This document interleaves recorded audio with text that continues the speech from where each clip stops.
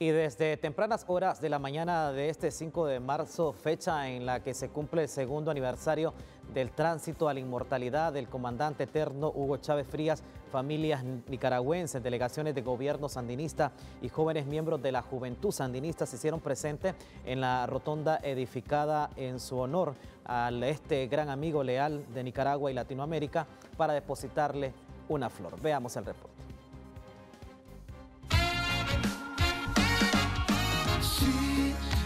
Al cumplirse dos años del tránsito a la inmortalidad del comandante eterno, cientos de capitalinos asistieron a la rotonda Hugo Chávez para rendir homenaje al líder de la revolución bolivariana. Ya de las lágrimas ahora estamos pasando a la alegría, a la alegría de que él nos llevó de la mano para construir la patria grande.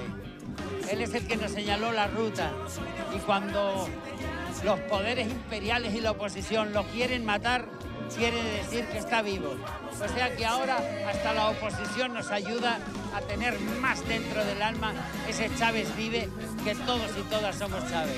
Delegaciones de las instituciones públicas, representantes de movimientos sociales, sindicales y la juventud nicaragüense se congregaron desde tempranas horas para depositar ofrendas florales, reflexionar sobre sus ideales y reafirmar el legado de amor, dignidad y unidad que dejó el comandante Chávez para los pueblos de América Latina y el Caribe. Chávez sigue siendo joven, con ese espíritu de trabajo, de cambio, de transformación.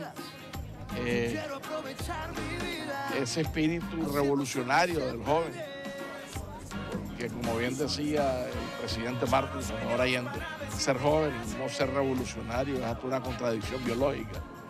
Entonces Chávez, ese espíritu juvenil que va desde la Patagonia hasta el río Bravo, cruzando por las aguas del Caribe de América.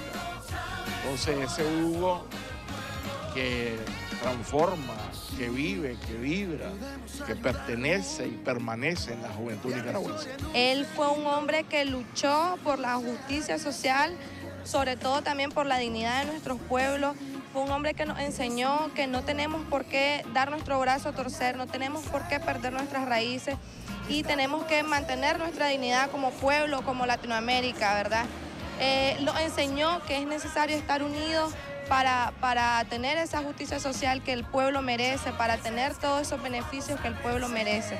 Una vez más, queda comprobada la hermandad entre Venezuela y Nicaragua. Todo el amor, gratitud y solidaridad al gigante, comandante eterno Hugo Chávez Frías.